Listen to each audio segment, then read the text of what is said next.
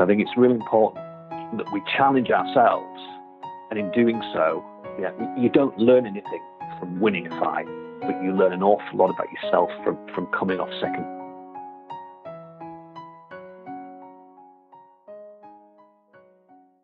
Hello and welcome to Whistlekick Martial Arts Radio, episode 184, and thank you for being here today. On this episode, we hear from Sensei Phil Knight, a karate practitioner from the UK. Here at Whistlekick, we make the world's best sparring gear, and on Martial Arts Radio, we bring you the best podcast on the traditional martial arts twice every week. Welcome. My name is Jeremy Lesniak, and I'm your host as well as the founder of Whistlekick Sparring Gear and Apparel. Thank you to the returning listeners, and welcome to those of you tuning in for the very first time. You can find the show notes for this episode at whistlekickmartialartsradio.com, which is also the easiest place to sign up for our great newsletter. As a thank you for joining that list, we're going to send you our top 10 tips for martial artists, an exclusive podcast episode. Our newsletter keeps you up to date on what's going on here at Whistlekick, tells you about upcoming guests for the show, and even gets you discounts on products once in a while. We recently upgraded our website, and it's time to tell the world. Now you can receive notifications when products come back in stock. You can keep items in your shopping cart and get to them later from, you know, even different devices. And there are a bunch other great features. We put a lot of time into it. So please check us out, whistlekick.com, and thank you for doing so. Sensei Phil Knight comes to us from England, and we get into some great stuff. We talk about martial arts culture, including comic books, and how they've had an effect on so many of us. Sensei Phil, as he asked me to call him, strikes me as a very thoughtful martial artist, and I think you'll agree after listening to today's episode. Let's welcome him to the show. Sensei Phil, welcome to Whistlekick Martial Arts Radio. Thank you very much, Jeremy. Very excited to be here.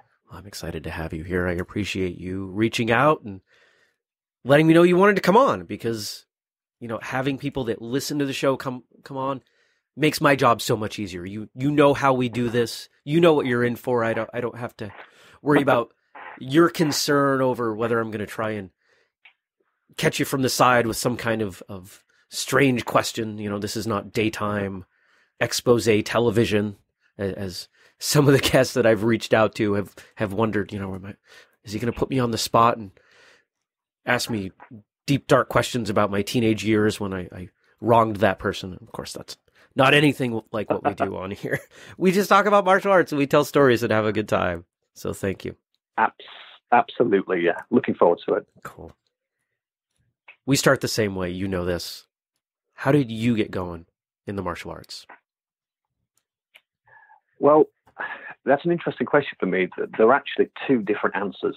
There's there's the answer that that I tell casual acquaintances that, that see that I, that I train in martial arts and say, oh, Phil, how, how, did how did you start? And I tell them that I I used to do a lot of swimming as as a sort of eight, nine, ten year old. I used to swim for my, my city and local area. Um, so swimming four or five times a week. And one particular swimming training session, uh, my parents took me to a, to our local sports centre, and as I was getting out of the pool and getting changed and, and, and coming out, there was this there was this group of, of fifteen or twenty people stood outside a sports hall wearing white pajamas and, and stretching and doing these these head level kicks, and I was just intrigued by that. And that is true. That did happen, and that was was where I, I found the, the karate club that, that I ultimately uh, joined first. But the real story is eh, when I was a child, I was I was I suppose still am a bit of a nerd into science fiction and comics and, and so forth. And my grandmother used to go into our local city every week and buy me a comic book. And one day she came back with this comic book with this this colourful character on the front called Iron Fist. And I've even still got the, the, the specific comic from 1976, um, issue six it was. Um, and, and, this character didn't have any superpowers really. His power was was he was a, an excellent martial artist, and it, it just sowed the seeds in my mind so that when I did eventually go to this sports center and, and see these guys doing these amazing kicks, that was the point at which the, the, two things coincided, and I was able to to get my parents to allow me to go to the karate class without having to sing too nerdy and too geeky at the same time. So, um, sad to say, I'm still a nerd, still read comic books, but I also still do karate after 42 years. Oh, sorry, 32 years. I don't think there's anything sad about that you know, there's certainly been a shift in in our lifetimes around the acceptance of let's call it deep intellectual pursuits or non-traditional intellectual pursuits, what some people might call nerdy, geeky sort of Absolutely. things. Absolutely. Uh, you know, o- over here in the United States, I, I believe it's the number one sitcom is, is The Big Bang Theory. And it's, I mean, it, the whole premise is around nerds and comic books and things like that. And, and if you look at culture right now in terms of television and, and movies, there's a whole heck of a lot of stuff coming out of comic books. Yes, absolutely. Uh, Things like the, you know, the, the Iron Fist Right. um, series on uh, on Netflix at the moment, things like that. Absolutely, Have you watched it? I have. And I'm Um, curious of your thoughts. Um, I'm enjoying it immensely. I'm on episode ten or eleven at the moment. Um, I, I think some of the choreography leaves a little bit to be desired if you compare it with things like Into the Badlands.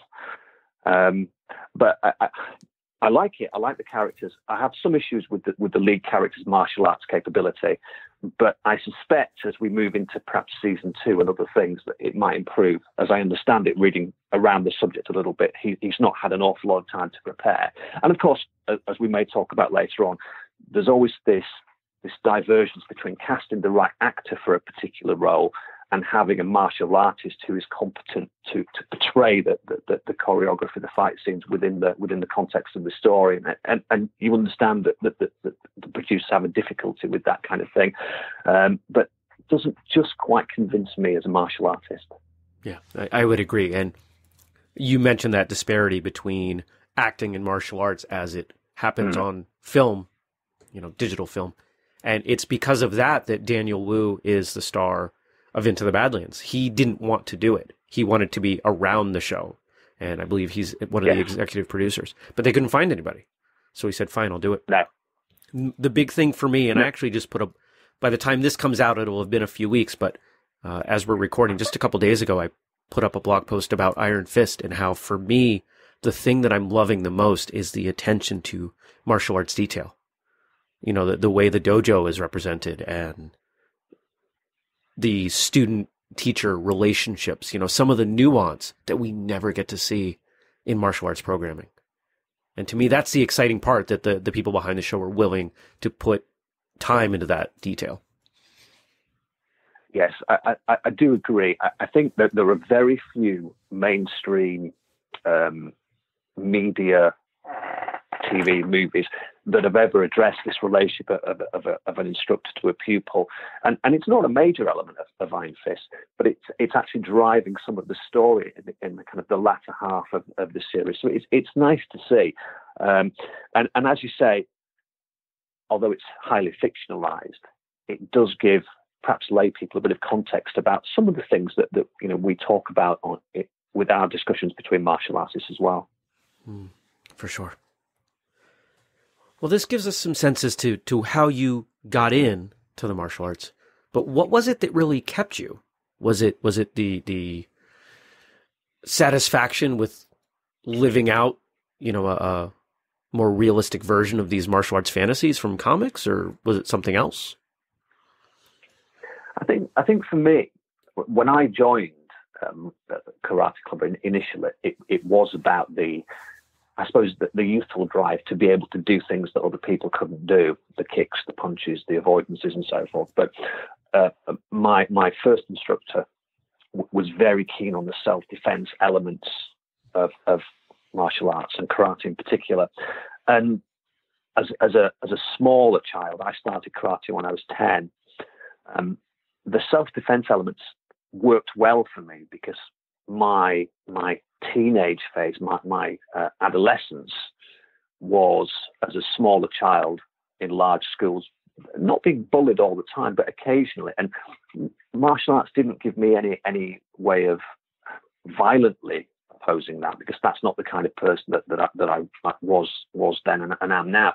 But it gave me confidence and knowledge of things like avoiding situation, situational awareness, and and although I, have changed styles, I, I stay at karate for two reasons. And it, it's the self uh, the self defense elements, and it's it's this this confidence, this ability to overcome other things that I think feeds back into martial arts training quite strongly as well. So those are the two things that that I didn't know were going to be there when I started training, but over the years have kept me. Even though there's obviously been times when interest wanes as you get older and become interested in other things than training as you hit that 17 18 19 type um, age. But those are the things that i keep coming back to and those keep me driving forwards in what i'm doing. Great. A similar experience to what i've gone through and i'm sure to what plenty of our listeners have as well. Yes. Tell us a story. Tell us a great martial arts story. I'm sure you have a bunch of them, but why don't you pick one? Um, well, one that springs to mind, and I'm not really quite sure what this story says about martial arts in general, but I'll tell the story and then perhaps you can tell me what it makes you think. Okay. Perhaps it's about humility, humility and hubris, but but let's see. Um, the, the, the club that I trained at uh, as a child and, and moving into into young adulthood was um, a Wado-ryu variant, um, so relatively soft um, um, style that, that peeled away from Shotokan in the in the 40s and 50s. Um, and, and one of the key elements of, of the style that, that I trained was, was avoidance. The club is called Tai Sabaki Do, which is the, the, the way of the avoiding body, basically. So we did all the usual kicks and punches and, and blocks and so forth. But everything was built around uh, avoiding conflicts, lateral movement, sideways, backwards movement away from an opponent. Um, and my instructor, uh, Sensei Ben Warren, uh, was a, a, I suppose a big wig in the local karate association. So every now and then on our seniors training night, which was on a Friday, we would have um, a brown belt come from another club, another style, to do some kind of grading. Um, and, and on one particular day, I would have been, I, I was a Dan grade at the time, so it would have been uh, 87, 88, something of, of, of, that order. So a fair number of years ago, I was relatively young and inexperienced myself, and um, there were a tranche of, of, similar level black belts who come through the, the, the, the gradings with me at, at, the same sort of time, and we were there for this this this Dan grading that this this gentleman had come for, and he, and he came from a, a kickboxing style. Um, so he was very very hot technically on strong punches and kicks, shin strikes, and so forth. Um, and and being honest, he was he was a bit cocky, a little bit arrogant, but he certainly had the, the skills to back that up. I fought with him, a number of my colleagues did, and you know we held our own, but we weren't a, a fighting style at that time. And, and he made us look bad. Um, and as part of the, the, the, grading, obviously we went on at, at, at, one point in the evening to the um, self-defense element of, of the grading. Um, and my instructor, Sensei Warren, asked one of my uh, black belt colleagues just to do a very simple um, walk through lunge punch and oizuki, a front punch towards this brown belt. And he very clearly told him to avoid the punch and do some kind of block and return. So my colleague, uh, a gentleman named Steve, um, lined himself up into a into a forward stance into a Zenkutsu dachi stance, walked through with what was a very fast, strong lunge punch, and this poor brown belt stood there and did a perfectly good head level block. Unfortunately, it, it just didn't work. Steve's punch went straight through his block. He hit him on the nose, uh, knocked him flat on his back, and he was unconscious for three or four minutes. And obviously, we, we carefully got him got him up, brought him round, and that was the end of, of that gentleman's grading. Um, and, and like I say, I, I think it says a number of different things. It, it perhaps talks about his his hubris, his his assumption that whatever we could throw at him, he was able to to cope with it, and that clearly wasn't the case. Maybe it says something about styles shouldn't mix at gradings. I don't know. But for me, it, it, taught me a lesson in humility. I was involved in that grading. I was quite angry with, with this brown belt because he made us look a bit foolish during the, the kumite, the fighting phase of the grading. Um, but it taught me that you can never be arrogant in any situation involving martial arts. You really have to listen to people, try and judge what's going on around you, and, and maybe even do a bit of research before you turn up at a grading about the club that you'll actually be grading at. So, uh, yeah, he didn't have a good night. We all felt terrible, but hopefully everybody learned a lesson. Who knows? Hmm. And for you to carry that forward so many years says that it really did have an impact on you. Oh, very much so. Um, you know, I suppose another thing that, that perhaps bring home, brings home is, is potentially how dangerous martial arts are for, for people that, that, that don't control them properly because it, you know, a single punch could have done an awful lot of damage to a person. But I think from my point of view, it's made me a lot more careful when I'm organizing kumite or, or what we call an ippon kumite, which is standing fighting attacks from a distance. Um, you just have to be a lot of lot, uh, quite careful, even when you're dealing with quite senior grades, that, that everybody's safe and everybody's happy. Yeah. In my time, I found that whether it's martial arts or other things, people generally know more than they think they do or less. And when I when I apply that perspective, most of the problems I've had with people or the circumstances like you're describing have come from at least one person in the mix who knew less than they thought they did. Absolutely. Well, um, it, it, does remind me of, of, another quick story, if I may, as well, Please. where I, I, I trained at, at, at, the, the Tai Sabaki Do style until probably about 2004, 2005. Uh, and then family commitments and, and, and, work overcame that. And I, very briefly stopped training for a period of, of, of a couple of years. And I started a, a, as a beginner again at a, at a different style, um, a Shukokai style. Um, and although I started as a beginner, I did start with all the baggage that I'd had from, from being a second Dan black belt, you know, for, for many years. Um, and I don't think I was arrogant per se, but I probably didn't give my new instructor the same level of respect intellectually as, as I had my original instructor from all those years ago. And the thing that, that, that changed my mind was uh, the new style was a lot more, or is a lot more um, fighting orientated. So we do a lot more sport fighting. Um, and I can remember one training session quite near the beginning. So I would have been, if not a white belt, then certainly no more than, than a yellow belt um, in, in Shukokai at the time. And, and we had a, a sparring session. And I had done a little bit before, and I was quite cocky, and, and things were going well and then I began fighting with the instructor. And although I think I held my own for a yellow belt versus a versus a very senior Dan black belt, um, at the end of the session, I managed to get through it, and then I went into the changing rooms, and I was so exhausted. And I, I'm not joking, I'm not exaggerating it. I laid on the floor and got changed on my back because I was just so physically exhausted. I couldn't stand anymore. And, and that was the point at which I thought something here's got to give. It's not going to be my body because I've managed to get through this just. So perhaps my attitude needs to change a little bit. And, and it, it, it's brought me forward certainly into, into my current philosophy of, of, of training where um, if people know an awful lot more than you do, you just damn well better listen to them and make sure you, you pay heed to what they're telling you. And since then, perhaps I've adopted a path of least resistance a little bit more with with with the new style and, and my new instructor as well. So, uh, but yeah, I, I, think people who, who think they know more than they actually do sometimes need to be um, readjusted, shall we say? Mm. Absolutely. Now we've heard a little bit about some of the other things that you enjoy comic books, other nerdy pursuits, as you put them. Do you have any current hobbies beyond that? Are there things that you're really passionate about outside of martial arts?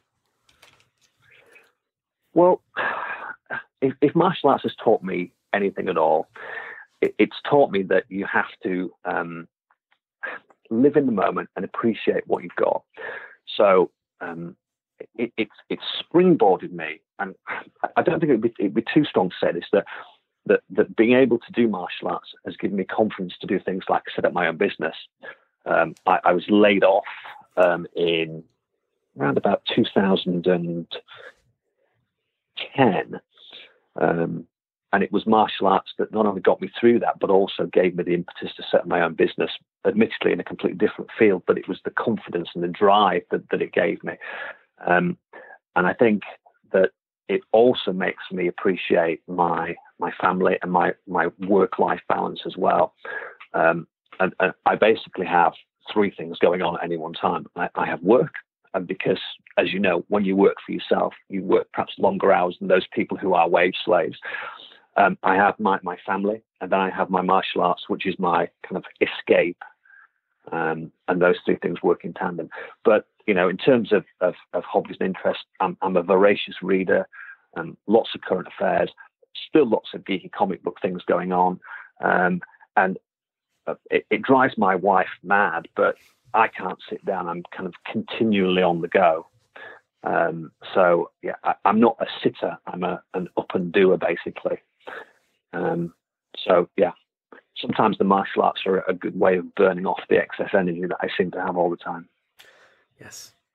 Yeah, you you were not the first to use that connection, that that martial arts uh, sort of constant movement connection. I, I, think that's why for so many young people, kids that can't sit still, it, it's just oftentimes the best thing.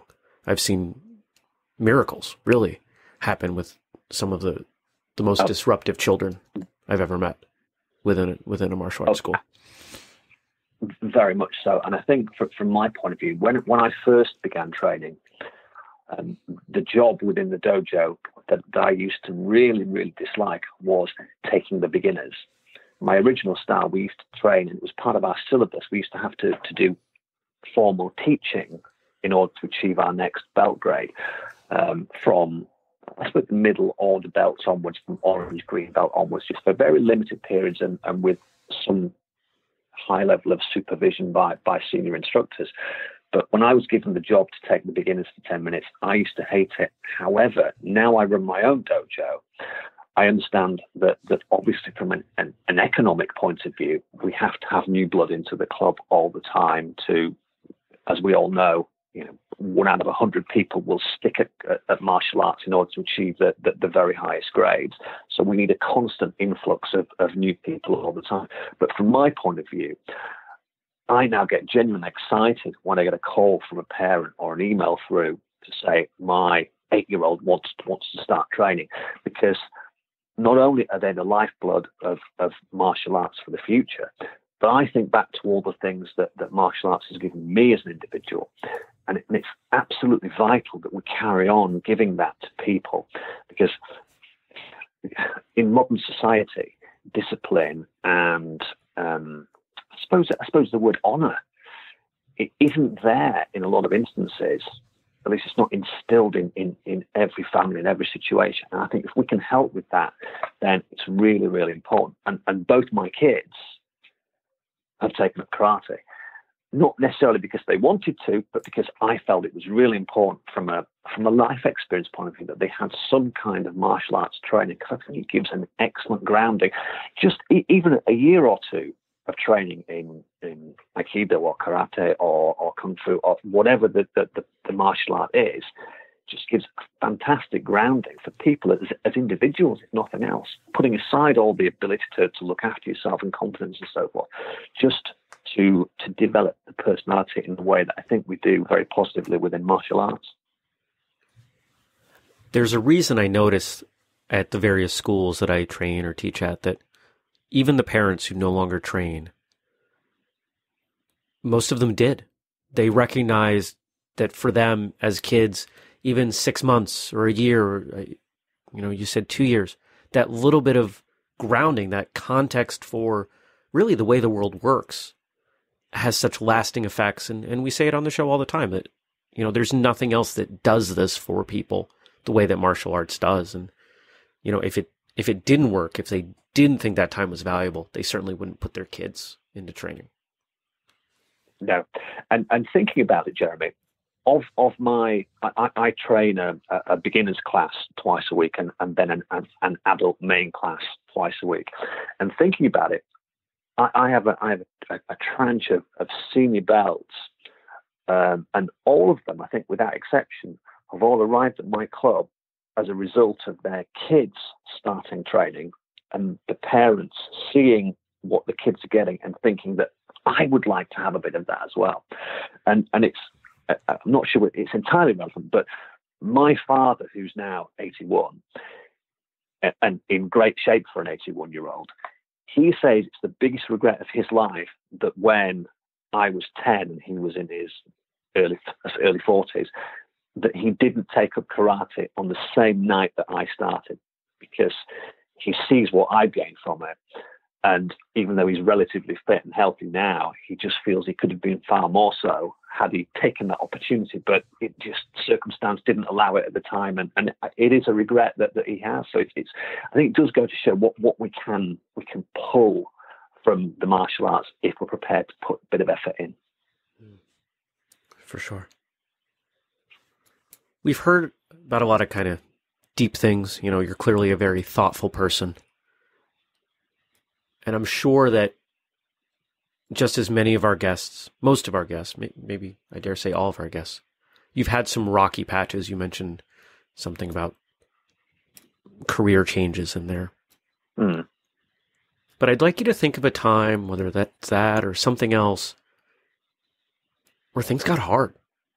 And tell us how you leaned on your martial arts training to get through it. Well, there is there's one particular occasion that, that really springs to mind, and, and it, it is to do with, with, with when I was laid off. Um, at the time, my um, my daughter and I had started training together when I took up the, the, the new Shukokai style. Uh, my daughter Megan um, started at the same time as me as a as a beginner and, and my mindset was very much to, to give her some confidence as, as a young girl and, and a bit of self defense acumen and so forth. And so we'd been training together for probably five or six months when, when this, this career change happened. Um, and, and, I was, being honest, quite quite down. Um, at the time, I was well into my 40s, and new, exciting, highly paid jobs aren't necessarily available for people who are you know, changing career at that kind of age. So I was considering the options and thinking about going, you know, looking at setting my own business and so forth. And I can then remember very, very clearly, and, and it, it does make me you know, fill up a little bit as, as I, as I think about the occasion where I'd been I'd been laid off. Um, I'd had to go training because I wanted to carry on as normal for, for the kids. And, and Megan and I were we were we were doing the initial warm up at, at, the class, and we were running around the edge of the dojo, um, preparatory to doing various exercises and, and so forth. And and you know, Megan just just as we were running together, just touched me on the arm and said, "Dad, are you okay?" And it, it wasn't her reassuring me as a daughter, although she obviously was, but it was as a fellow student of, of karate. We were there together. Whatever happened, she was going to support me. Um, and I don't think that that was the, the, the, final spur, but it was what really set me on the, the thought process to, to, to go it alone because I knew that I would have the support both from my family, but also from, from, from my martial arts friends and, and, and colleagues. So it may just be that it was the situation that we happened to be at training, but I, I do think that that having that, having the the routine, the the ability to take your mind off your problems and to know that if things go wrong, you'll always get the same response at, at martial arts training. You'll never get um, pity. You'll never get sympathy. You'll just get support. And I think that's uh, a, a vital element uh, at any point in your in your life, but particularly when things are, are getting you down, that you really do need that. Um, and and conversely, um, my daughter is now nearly 17 and has had some issues as a teenager.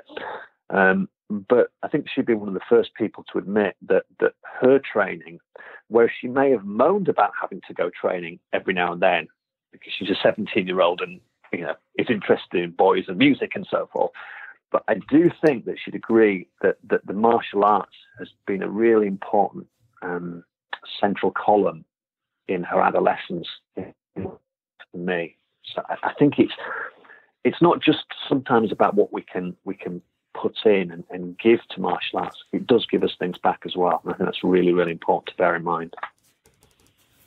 I agree. Absolutely. You know, in, in modern society, we don't seem to do as good of a job forming community, in, at least in the same way. We tend to have a lot more connections via social media and such than we did 10, 20, 30 years ago. But for most people, and I'm not going to say all, for most people, those connections aren't as deep. But martial arts and other pursuits similar give you a community, something to lean on when you need that stability. And it's something that I, I I'm imagining that everyone listening right now is probably nodding their head as I say this, that you know, it doesn't take very long in life to to reach a rocky point, even if it's a small thing, and to realize, hey, the stability, the the grounding, as you put it earlier, and I, I'm liking that word more and more, that I have from my training and the people I train with can really help me through a lot. No, absolutely. I think it's for me, it's just become a, an integral part of, of, of what I am and, and, and you know how my life works. Uh, and I think if, if we can encourage people to participate and to get some of that, then it can only be positive for, for society generally. You've talked a bit about your two instructors. I don't know if you've gone off, yes. if you've trained with other people, but I'd like you to ask the que- question that you know about who's been the most influential on you. But I want to take those two out because we've heard about them. And I'm wondering if there's maybe somebody else that was formative. Yes. Well, I, I have trained with with a number of other people, um, and I've I've done um, as well as karate, um, little bits of judo and aikido as well. But I think from a from an aspirational point of view, certainly in, recent years, um, I, have done a bit of, of, of reading research around um, a guy called Bear Grylls, who's a he's a UK personality, and, and he, he may may have been aware of him in, in the states as well. But he's a gentleman who, um, when he left uh, university, he trained uh, as a Shotokan martial artist, a, a, a, fairly hard form of karate, and became a, a black belt. And then he used his martial arts skills to earn a living while he decided what he wanted to do with his life. And he ended up becoming a uh, an adventurer, uh, a survival expert. He joined um, the British Special Forces. He survived um, a, a, parachute accident that, that, broke his spine and recovered fully afterwards. Um, and I think uh, as a as a uh, as an aspirational figure, as somebody who um, we strive not to be like. We can't emulate other people, but to try and take the, the good things from their life experience. I find that, that that he's one of these these these things that keeps cropping up when I'm talking to people, when I'm trying to explain in a in a in a training session why I want people to push harder, to work harder. He's one of those figures that um, that I'd really be interested in in in meeting and interacting with, and has certainly in my my, the second part of, of my martial arts career in, in my most recent style has, has driven me on to, to push that a little bit harder and, and to try and not accept second best. Hmm. For sure. Now, if you could train with someone that you haven't, who would that be? Um, that I have met. That you have not. Oh, have not. Okay. Well, there, there are two people that, that I really, um, if I was able to go back in time, well, let, us get the obvious one out of the way that sure. everybody says sure. that, that everybody wants to train with, with Bruce Lee. Right. Um, and I, I, I'm old enough to remember Bruce Lee the, the first time around, more or less. Um, and and his his skill. And I think as I've gotten older, his his intellectual capability it is is staggering. Um, but but going back a little bit further than that, the founders of both of my styles uh, of karate that, I, that I've trained, Sensei Otsuka, who founded Wado-ryu, uh, and Sensei Tani, who created Shukokai, um, I, I, have this fascination as somebody that, that, that has, has trained within two different styles uh, of these these senior masters who took what was then the, the conventional, traditional martial art, um, uh, Sensei Otsuka moving from, from Shotokan into creating his own style through a, a, a series of learning experiences with, with other masters and other uh, karate students in, in Japan and Okinawa. Um, those are the kinds of people that I would dearly love to have been around 40 or 50 years ago to have been able to, to train with. Um, and I think now, I think I think we are diminished in, in some respects. I think that there are there are too many different styles and too many non-traditional styles out there. Um, but at the end of the day, it, it, really is a case of everybody to their own, and people will, like me, find styles and, and ways of doing things that suit them, and that can never be a bad thing. But those are the, the, the two people that that I trace my martial arts lineage back to that I would like to, if I could get in that time machine, go to Okinawa or to Japan and just see what they were really about. For sure. Let's talk about competition.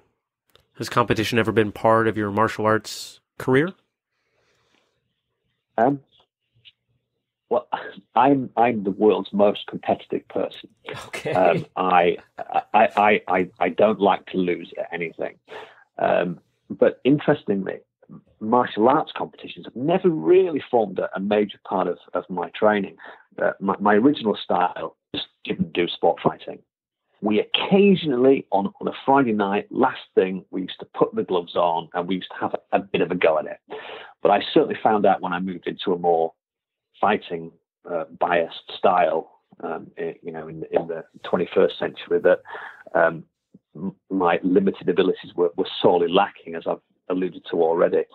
Um, so I, I, do do um, uh, sport fighting now, but I'm not a great competition enterer, just from the point of view that I'm 46 years old, and I really don't fancy fighting some of the um, the very very experienced black belts that have been fighting for a, number of decades. Uh, I don't think I, I, bring anything to it particularly, uh, but what I do bring um, to a training session is whenever I'm fighting with with my students, um, I want to win, even though I'm an instructor. So I do have to sort of pull back sometimes from from from pushing too hard in in competition. Um, but I, I, do think that that competition more generically is really really important because w- without that drive to improve what we're doing, it, it's very easy to become stale.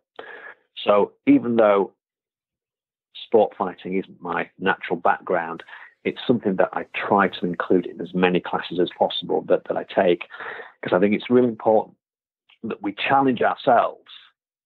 And in doing so, yeah, you don't learn anything from winning a fight, but you learn an awful lot about yourself from, from coming off second best to a better opponent.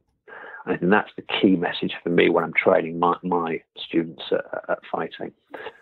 Um, but um, yeah, to give you a non-martial arts related story about competition and myself, I, I, used to to play some some racket sports with my dad when he was younger, and um, we had one occasion where um, I'd been on a squash court uh, with my dad playing squash, and I get very uh, vocal when I lose, and I was having a bad game, and uh, there was a lot of screaming, a lot of shouting, and um, not too much profanity, but perhaps perhaps the odd swear word did escape in frustration, and uh, to the point where we actually had a formal complaint from the from the, uh, the, the, the squash court next to us because they thought that I was making far too much noise. So um, yeah, I don't like losing. Perhaps that's why I don't do too much um, uh, fighting at karate in competitions. if I did lose, I wouldn't really be wouldn't be very pleasant afterwards. Don't know. I don't think there's anything wrong with being competitive it, it certainly is a, a driving force and something that a lot of people, a lot of very successful people have used to their advantage. I think that the downside, and I'm not getting the sense that this is you, but when the desire to win becomes so all encompassing that it excludes other things, or on the flip side, after a loss, people can't pick themselves back up. yes, it, it, it's about being being balanced, and and I think that a good martial arts school will teach that lesson very early on. That I mean, I, I can still very, very clearly remember failing my purple belt grading. Uh, I would have been 14, 15 at the time. I was devastated. But um, my instructor would not allow me to mope around. He gave me all the, the really worst jobs in the dojo. He gave me the worst classes to teach until I cheered up and got on with training. And I made pretty sure that I passed that grading the second time. So it, it competition is great. It gives us goals, it gives us a challenge, and it gives us a character building exercise when we fail and have to pick ourselves up again.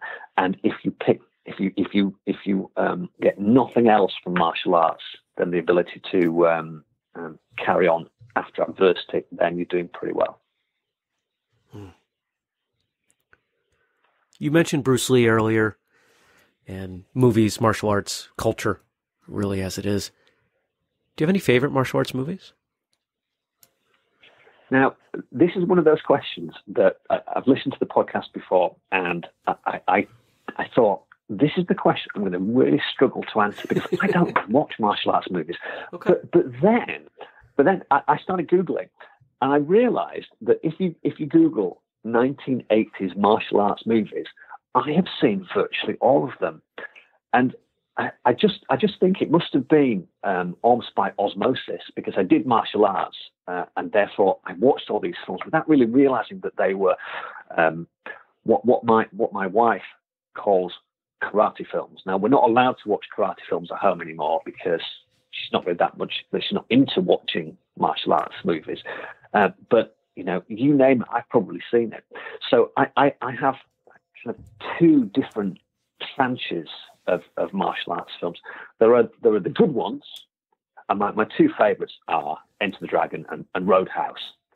Um, but then I'm a real sucker for those 80s exploitation, uh, kickboxer, uh, blood sports, um, the, the, American Ninja type films, those things that have awful production values, and the only thing they have going for them is that they have martial arts in. And often really good martial artists who couldn't quite make it as as mainstream actors, but when they they they actually get to choreographing the, the fight scenes, you know, the fact the film was made on a shoestring and you can see the boom hanging in at the edge of the camera, it doesn't matter because you're just drawn to the action on the screen.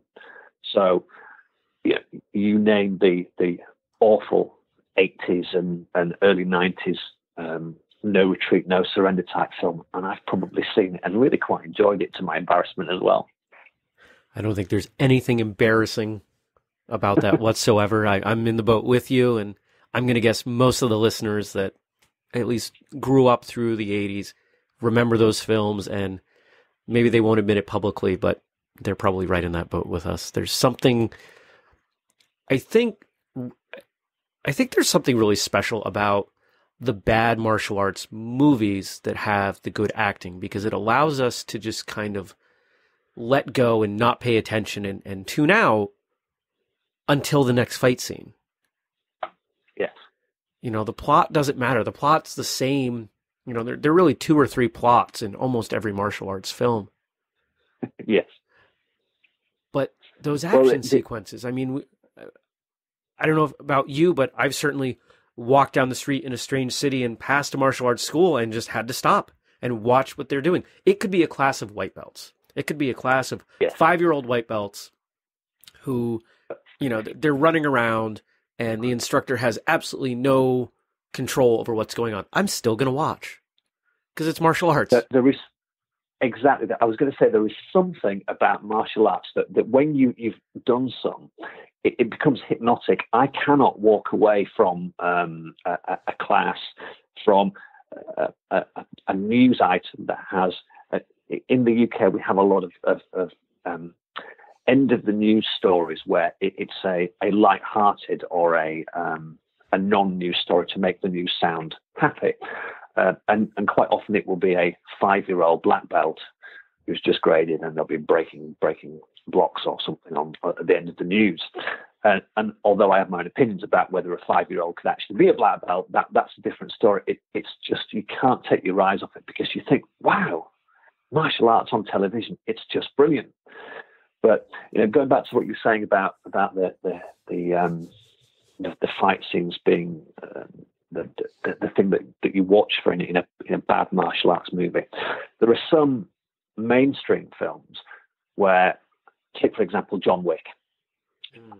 I honestly have no idea what the story of John Wick is. I'm sure there is one, but but all I do when I watch it is fast forward past the talking to the next fight scene.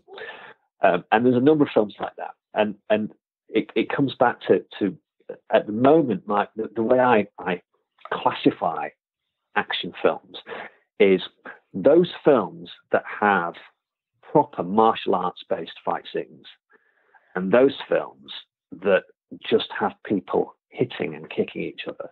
And I can't see the point of that latter category. I'm not interested in watching I mean, the classic proponent of, of that was, was, Arnold Schwarzenegger, who really had no proper martial arts chops. He was just a, a bruiser. So, although I've watched a lot of his films and enjoyed them, I would rather see a um, well, Patrick Swayze is, is, an example. Roadhouse. It's not a martial arts film per se, but it has some fantastic martial arts context that that is based upon proper martial arts done by a competent person that that, that understands what he's doing. Um, and, and that's my favorite actors in a martial arts context are people like Swayze and Wesley Snipes who take an ability to actually perform the techniques that they're showing on screen and then integrate it into a more interesting story. Mm. I agree. How about books? Are you at all a martial art book reader? Um, I, have dabbled over the years. Um, my, I'll be honest. Since um, since the advent of the uh, of the Kindle store, I really don't buy books anymore. Um, I, I flick through a lot of of, of um, audiobooks and, and online books, but th- there are some that I keep coming back to and, and I think most martial artists will have read The Art of War by Sun Tzu. Um, and I'm one of these people that, that every now and then I will I'll pick that up, flick through and find a, a passage, a, a quote that, that, that, that, suits my my mood or my life at the time. Um, and I mentioned Bear Grylls. Um, he's written a really good autobiography which talks about his his early martial arts training and, and goes on to other things. Uh, the book is called Blood, Sweat and Tears. So that's one that, that I've I've read over and over again. Um, and and then a non martial arts book, but almost a, a Zen type um, experience for me was a book by a, a gentleman called Rich Carlson called Don't Sweat the Small Stuff.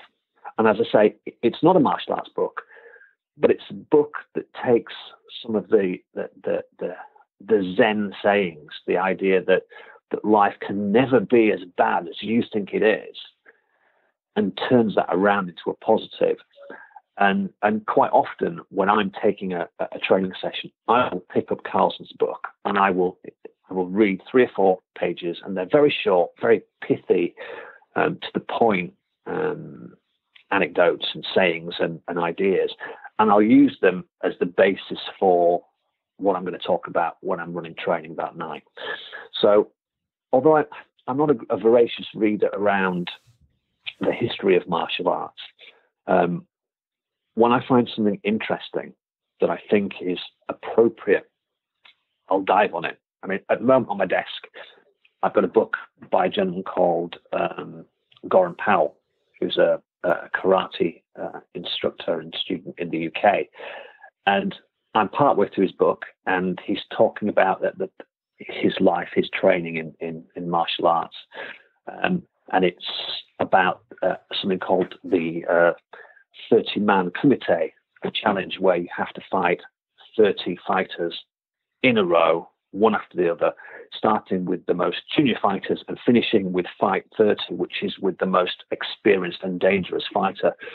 And frankly, it's terrifying. But it, like all good martial arts books, it gives us the history, it gives us the context, and then it gives us something to aspire towards. And that's the kind of thing that I will pick up and read. It's amazing how our lessons in martial arts, as we know, tend to drop out into the rest of our life, but there's just as much, if not more, that we can pull in from other things to our training, to our perspectives.